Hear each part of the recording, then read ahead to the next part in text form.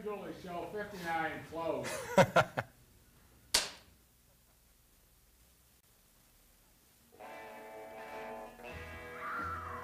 Just tuning up here. Well, that wraps up another sickly session with Svengoolie. Before we go, how would you all like to hear the Don Knotts song? The Don Knotts The song? Don Knotts song. Would you like to hear it, huh?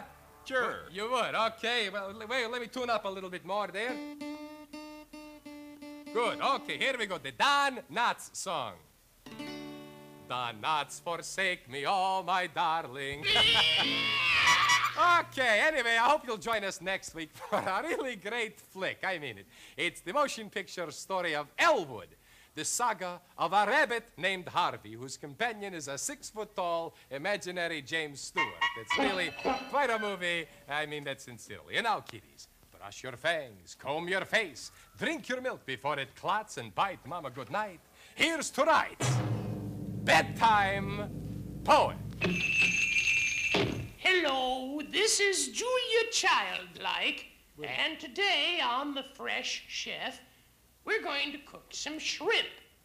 You can use any shrimp, but for this dish, we've chosen Mickey Rooney. Will you get out of here? I'll see you later.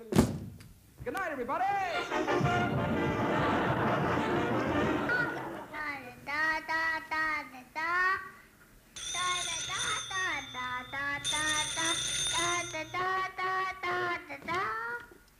It's for you. gotcha.